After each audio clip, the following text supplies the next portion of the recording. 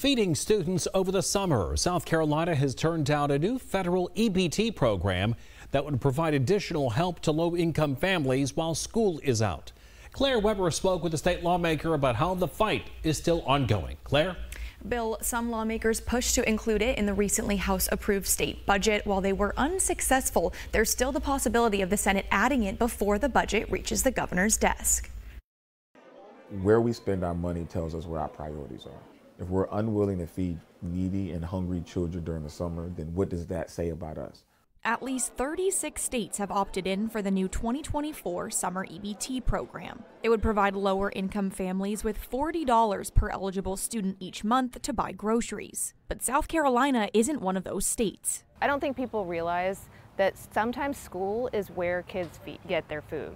They don't eat very well during the summer months. Um, and so this program would just help bolster that. And so it's disappointing to not see it accepted. Charleston County students can still receive free breakfast and lunch during the break through the district's summer meals program. Still, some lawmakers argued on the state house floor that spending $3 million to provide this extra assistance would have been money well spent. Many of the students that I represent in North Charleston live in food deserts.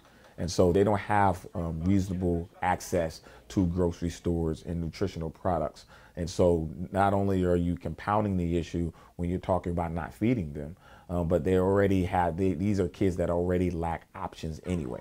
Despite the program not making it in the state's budget, Representative Marvin Pendarvis says he's still optimistic after receiving bipartisan support in the House. Pendarvis is still encouraging Governor Henry McMaster to make the late choice to opt in for this year or at least revisit it for next summer.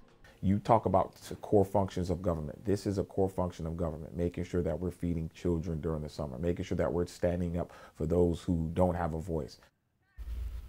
Berkeley County Schools offer the same free summer meals program as CCSD. DD2 is still working to get state approval on their program, but district leaders hope to have a similar offer. Claire Weber, News 4.